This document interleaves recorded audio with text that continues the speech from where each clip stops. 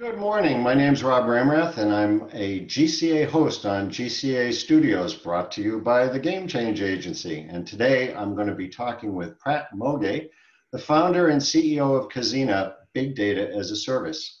And we'll be having a conversation about people's response and reaction to change. Good morning, Prat, and thanks for joining me. Good morning, Rob. Thanks for having me over. Thank you. Let me take a moment to introduce Prat. First of all, his bio is on the website, so you can see a lot of detail of his extensive career. But suffice it to say that Prat's an accomplished and successful serial entrepreneur with over 18 years of service. He worked with IBM upon its acquisition of Netezza. Prat gives back to the community as well, where he was the president of TiE Boston, whose mission is to foster successful entrepreneurship. And of course, presently he's founder and CEO of Cazena Big Data as a Service. Hopefully, some of you have had the opportunity to take a look at my interview with Jay Leader about change in the context of big established organization.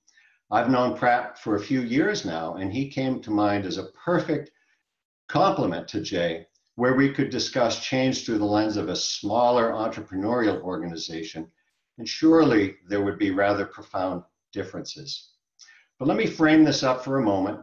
I'm not going to take as much time to frame this as I did with Jay's interview because I'm hoping you've seen that. You heard me comment about that change has been written about all the way from uh, Buddha, 500 DC, BC. He talked about change, that change is everything, nothing remains without change. And then, of course, we had Who Moved My Cheese, Clay Christensen's seminal book on the innovator's dilemma. So it's been around for a long time. I talked about, of course, major disruptors in industries such as Uber and Lyft and Airbnb. We don't have to go into any detail on that. Of course, Amazon is changing everything. But an aspect of change that I want to really get into is very specifically is ambiguity. I think people struggle a lot with ambiguity. It's one thing when people know about change as going from point A to point B when both are clearly defined, but it's a real struggle when people know that point A, upon which their business is grounded, their skills are grounded, point A starts to actually disintegrate in front of them and they have no idea what point B looks like or where it is. You can see this happening with brick and mortar retail, how everybody is struggling in the context of Amazon, the Goliath. You can look ahead at network TV and cable providers. We all know that they're heading for a wipeout, but nobody knows what point B is going to be.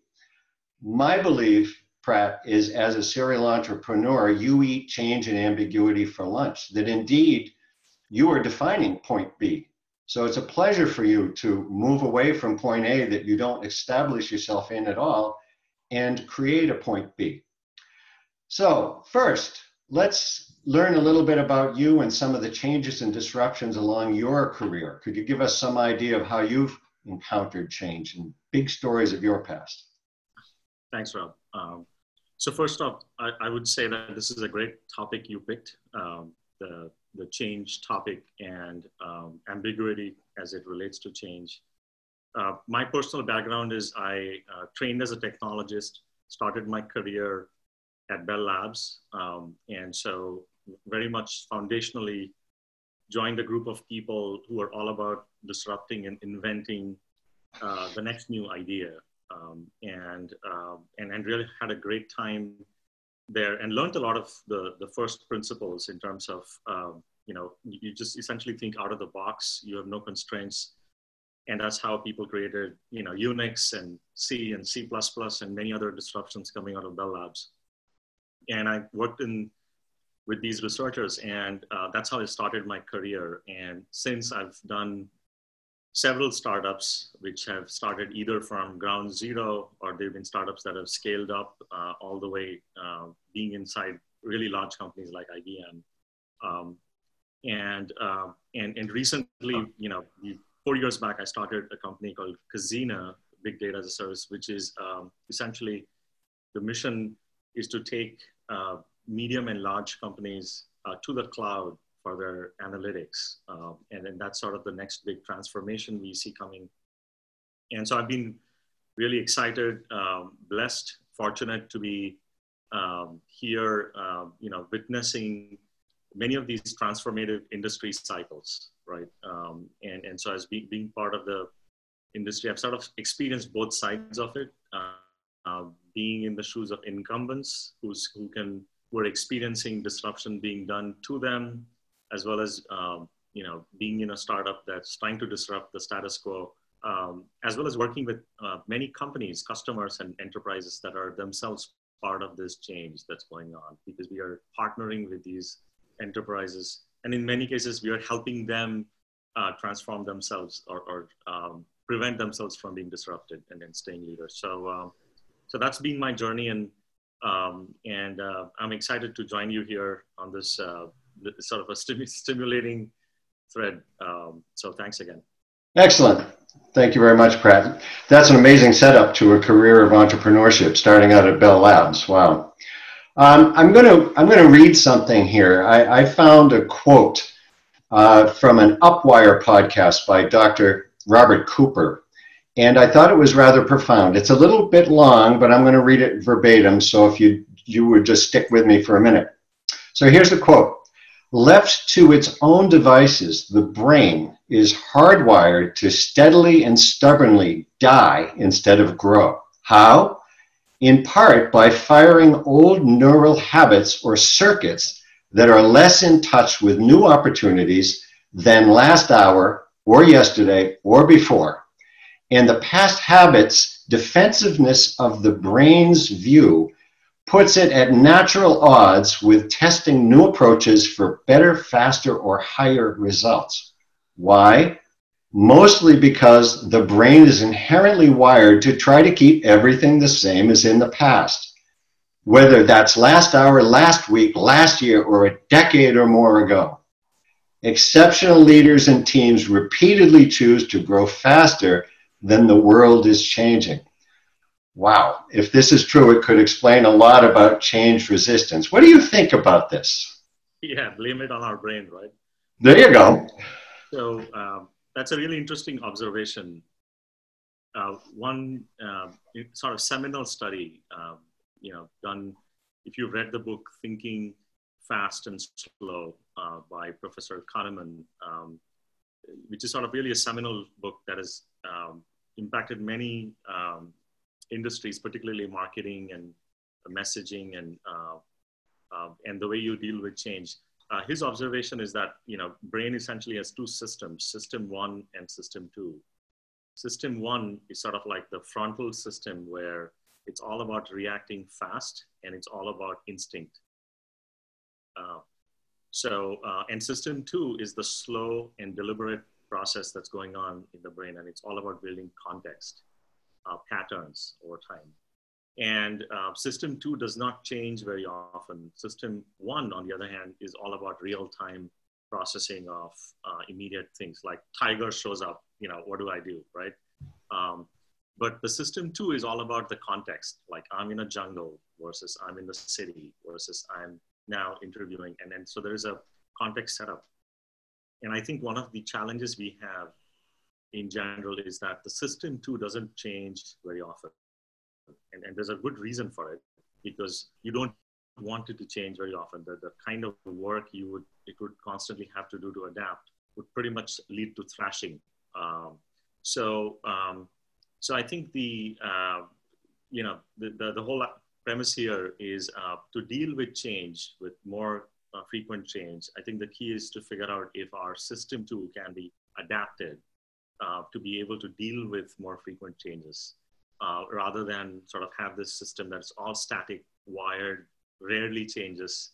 Because I think the brain has a tendency to reduce the entropy and um, do minimum work, right? Like it's essentially, if you think about it, it's almost like it's it's uh, reduce the power consumed by only firing a certain number of circuits. Um, and if that can work, then it's great.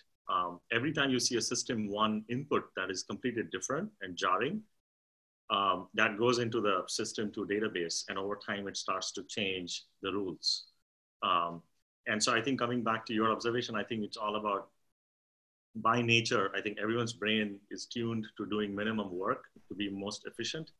Um, what we have to do is figure out how to, if we can, train it um, to wake up to the reality that um, you know the, the context itself is changing more frequently than it used to. Interesting. It, it's it's striking to me, Prat, that despite the fact that you're a serial entrepreneur and you're leading an entrepreneurial startup organization, you still, as a leader and an executive, have to take a rather cerebral approach uh, to understanding uh, the, the, the wiring, the brain, and, and what it is that helps to motivate people in the face of change. So, a question you've led people in established organizations and startups. Are there any intrinsic differences in the people who are attracted to each type of organization such that change and dealing with ambiguity may be easier for some types of folks? That's a great question. Um, I, I, would say, in general, um, the average uh, level of, let's call it the average level of uncertainty or ambiguity that um, an employee in a startup uh, can deal with is in general higher than the average level of uncertainty that uh, an employee of a large company um, may have, like everything else being the same, right? Yeah. Um, but within the company, there is always this variance of people around that average uh, in terms of people who can accept uh, or tolerate a higher level of risk, um, higher level of ambiguity, um, higher level of creativity, higher uh, you know ability to be comfortable and actually thrive on uncertainty versus people whose first reaction is to resist change, ask questions on why, why not, um,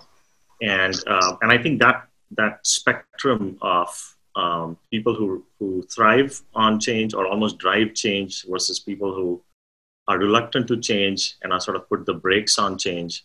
Uh, I think that spread exists even in a startup, but it's all around that average, which is you know more uncertain. I think. Um, and uh, and so even in a startup i think we face the same degree of challenges because you're trying to move faster in, than in a larger company so you got the same uh, issues with velocity and constant you know ability to change angles and change direction because you got a, a bunch of passionate people who believe in passionate ideas um, and so it's hard for them for the, for um, a founder to go to them and say, hey, we had assumptions A when we started. Now it's an assumption B, right?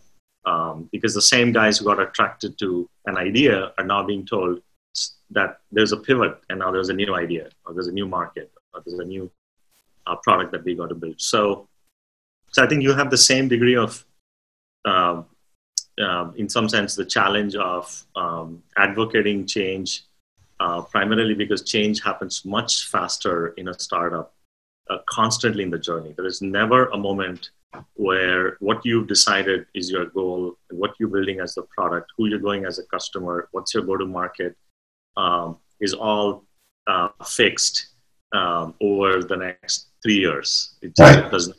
Like I haven't seen a startup that does it, and maybe the, if there is one, hats off to them. But the, in, in most cases, I have seen um, you make an idea, you have a vision, you start with it, and then you're constantly, constantly changing and evolving every assumption you make. You're testing, you're failing, uh, and you constantly need to take your team with it uh, and, and push the team to actually think about new ways And that's not easy. Well, isn't it true that established companies who fail to behave that way, that's what imperils their existence? Right, absolutely.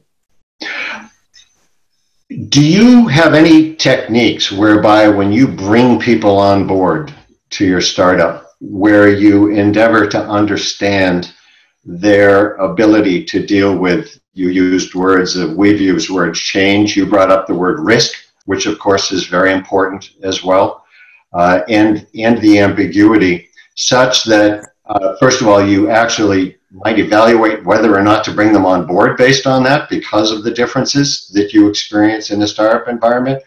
or might help you understand uh, how to place them well. I would assume some roles are better lent to somebody who uh, can deal with change versus has greater difficulty with change. Right. Yes. Um, certainly, I, I, would say hiring somebody into a startup. Um, I think th- this uh, ability to um, thrive on change, and I sort of call it one of the um, leadership principles, which is you know the ability to um, look at the, an opportunity, identify an opportunity, uh, understand how you get there, being able to deal with uh, changed assumptions is an important thing that um, we look for when we're looking at um, employees. And, and one way to sort of one lead indicator uh, of that is to actually, when you're interviewing employees, is to actually understand their past experiences, whether they've been in larger companies or smaller companies, uh, to understand how often something is changed in their environment, whether it's a project, whether it's an, a product they're working on, um, have they changed roles, um, how, how um, you know, and, and sort of balancing that with longevity, because you also want employees that are not just constantly flipping from one thing to the other. You want uh, employees that have successfully created an outcome uh, but during that, that success, there's been a lot of change that has gone through. Uh, but they've been able to deal and overcome uh, all that ambiguity and they sort of mastered change and, and uh, essentially ma- manage risk uh, of different kinds. So we do look for that. Um, again, like I said, not every person is going to have the same level of um, maturity in terms of dealing with that. Um, so we do look for certain roles where that's important, like um, people whose job is to say no versus people whose job is to go find the next new thing to do. Um, and also we look for certain roles where people have to balance both, which is also really hard. Um, good example is product management in uh, a startup is a key part of you know uh, establishing the roadmap, looking at competitive landscape, looking at what customers are asking for, and so you're constantly thinking about you know new features and new capabilities but you want to balance that with uh, things like resilience things like you know making sure existing customers are happy um, quality is high um, and there's lots of reasons not to try and build you know um, for five different customers asking for five different things so there is this balance between velocity uh, and focus. And so we um, you know in, to some extent, what we're trying to do is in a startup, successful startup, you're trying to embed that thinking uh, into every engineer and every person in the company so that everyone needs to be a mini product manager thinking about managing his or her work in terms of what's the input, what's the output, what's success, and um, how do I get there fast, uh, rather than having like a committee or a single person out there who's like, no, you're not going to do these 36 features, right? Um, and so that's the mindset I would say that that is important in, in a startup is to uh, is to build that kind of an awareness and context in every employee. Yeah, I loved it that you just referred to committees and the risks of committees. I've heard it said that a camel is a racehorse designed by committee. That's right. Uh, probably not intended for a desert yeah. can ambiguity be an asset? Uh, how? How can ambiguity use, be used to help people with their response and reaction uh, to change? I think it's a huge asset, Rob, mm-hmm. and um, and I would say it's a it's a differentiator now, particularly because um, in, in the world where very few people can uh, respond to or effectively thrive on change, uh, if you can thrive and uh, work on change, then you have an edge uh, that somebody else doesn't. And uh, the other thing I would say is um, uh, it's an asset because ultimately, if you can deal with ambiguity uh, at work, it's just a it's the same pattern everywhere else in life, which is you know there are things outside your control. Um, and things can happen good things bad things things out of the left field if you have the ability to deal with that adversity, health issues, family issues, um, what I'm finding is people are just happier. Uh, they're less stressed, Um, they are able to um, work better socially with each other. They're able to empathize, which is really an important quality. Um, and, and they're able to roll with the punches much better than people who are, you know, all coming in thinking, you know, this is what going to happen, you know, no, matter, no matter what. If it doesn't happen, um, the world is over, sky is falling, um, right? I'm going to go find the next company that gives me that level of certainty and um, you know security, and it doesn't exist anymore. Like look around you, every large company, as you know, is being disrupted, um, and um, and there's no safe haven anymore. So I think um, when I started down in this business, people would ask me like, um, "Why would you do startups? Startups are, you know, there's no security in that in a startup." I have come to the conclusion that there's probably the most security in a startup because at least you are create trying to create the future um, that you believe in, uh, rather than being beholden to somebody else who's creating the future and you don't know what it is. Um, right. So, um, you know, again, I'm not necessarily saying it's about large companies or startups, but um, I think it's fundamentally about assembling groups, whether they're in startups or large companies, that are fundamentally about um, identifying an opportunity that is disrupting the status quo. And it's about going defining an outcome around it. And during that um, journey, change is going to be inevitable. So you may not get to the same outcome you started with when you started, but I think if you've created that mindset that it's okay, um, our value is in uh, creating, um, you know, benefits with these customers. How and when and what's the extent of it? We'll, it's TBD. We'll figure it out over time. Um, then you get, I think you're you're able to uh, get people that thrive on it. And so I think ambiguity is, I would say, thriving on ambiguity is a uh, big leadership principle that um, all of us have to uh, get better at. And, and unfortunately, no MBA teaches you that. Um, so it's one of those things where um, my belief is that the way you you create that in an organization is you just be very open and transparent with your mm-hmm. Uh, with your comp- with your uh, team. Um, you share what's good, what's bad. Uh, you share about which customers are happy, why are they not buying, um, did we make the right assumptions in our product? Did, is our go-to-market working? Um, what are our strengths? What are what's our secret? Like what's our secret sauce? What's our differentiator? Uh, what's our knitting? And what should we do here? I think the more open and transparent you are, and the more you can motivate your teams um, to work with you, the more you can roll up your sleeves, work with them, um, and uh, and share that it's okay. mm-hmm. It works. Um, the other thing I would say is much like much like waterfall versus um, being agile. Uh, these are methodologies in terms of building products or building sort of business processes. Same kind of an approach can be used for ambiguity, which is instead of thinking about goals and expectations and success in big chunks, you can define um, those in smaller milestones.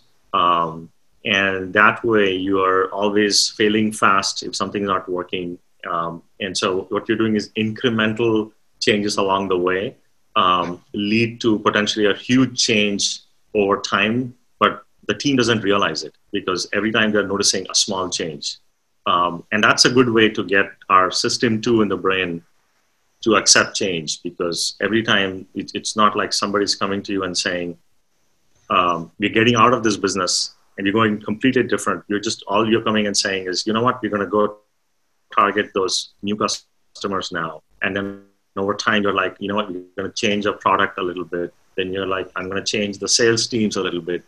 And before you know it, you've suddenly gone from um, an on-premises appliance company to a cloud company that is doing analytics, and and everything has been retooled. You don't realize it because you've just done one degree shift at a time. You've done it over every quarter if you know what I mean. Absolutely. I, um, you make so many excellent points, Prat.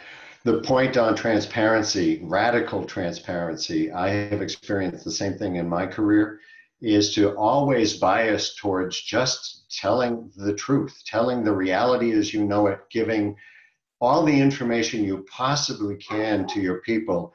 Engenders uh, trust in them, it engenders enthusiasm, it helps them with the change, and there's nothing but positives. I've never been burned, so to speak, by being too transparent. Obviously, you have to use common sense in terms of contractual confidentiality and things like that. But in terms of trusting your employees to be able to to hold confidences in terms of uh, intellectual property that your company has or concerns that you may have, it's absolutely vital to getting them on board and following you. That's all part of the leadership.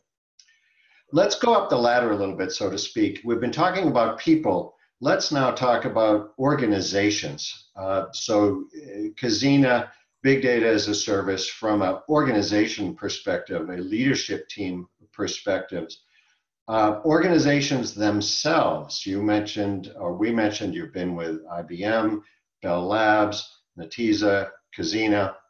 Uh, they have their own reactions at the corporate level, so to speak, that aren't necessarily the same as the individual reactions. Uh, talk to me about the range of reactions that organizations uh, can offer to change, that respond and react, and what are the characterizations of organizations that tend to thrive through change and thrive in ambiguity versus become frozen and entrench themselves and so forth? What are your thoughts about that? Yeah.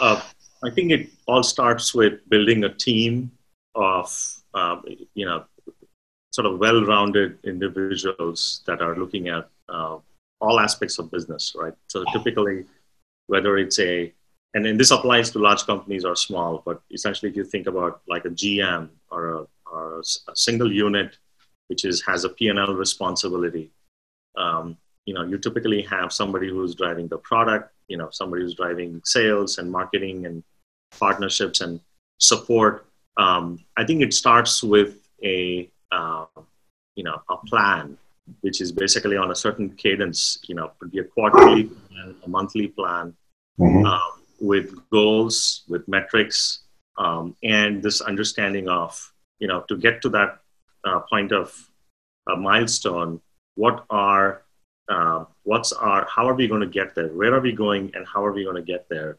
Uh, and who is doing what to be able to get there? I think this idea of uh, being able to spell out a goal, very simple, like we're going to get to five customers, or we are going to go prove that this kind of market exists or we are going to um, compete better with this customer, whatever that outcome is, you're going to create uh, an awesome product experience with this first prototype. Um, it is really important to be able to be clear on communication, on goals, and saying that that's our focus, by the way. And that means that some of these other things that we've been working on, they are secondary.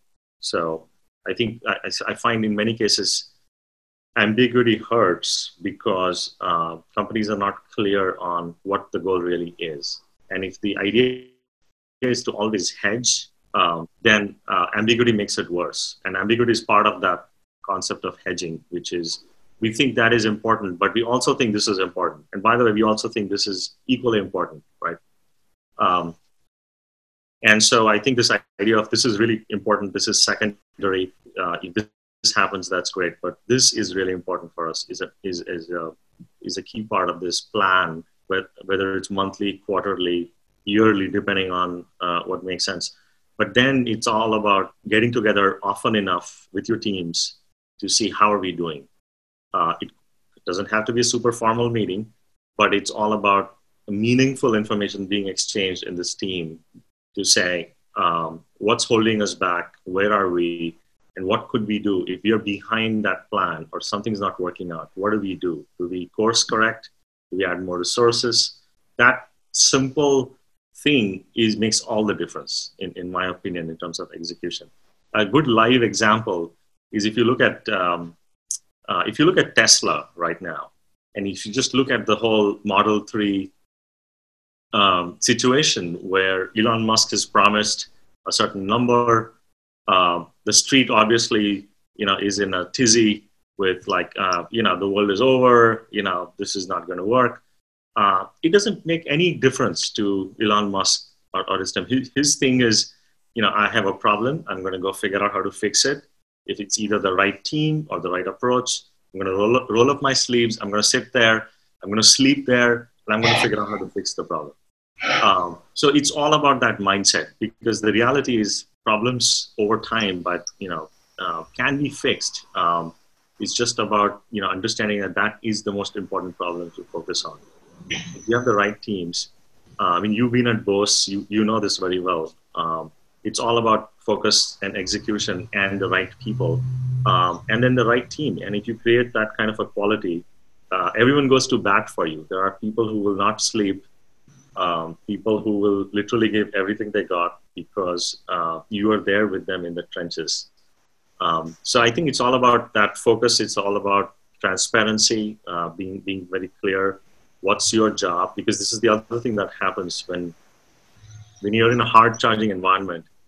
It's really important to also delegate and say, "This is your your work. This is your job. This is how it helps the other."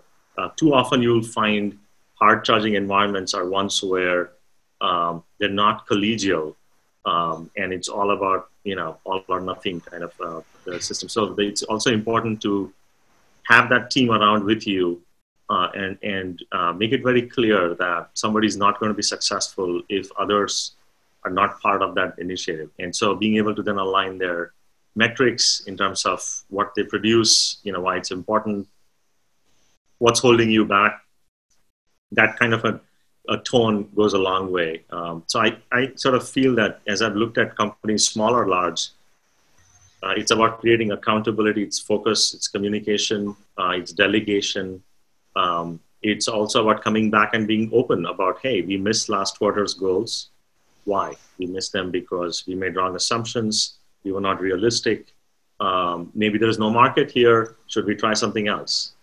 um, is is an extremely important thing. And I think too often companies believe that something is going fine, uh, they're not open enough, and by that point you've invested so much that it's sort of sunk cost. It's hard to do course course correction then. Right. Absolutely. Well, Prat, you have done a marvelous job. I was going to ask you a wrap up question, but you have done a marvelous job wrapping up for us. I think you have painted a very clear picture as to the contrast between large and small organizations, very entrepreneurial organizations. I think you've also done a very good job showing yourself as a leader and why it must be a lot of fun, not only working in a startup, but working for you. So I thank you for your time today. I really appreciate it. And I look forward to the next time we meet. So thank you so much. Thank you, Rob. Great to be here. Talk later.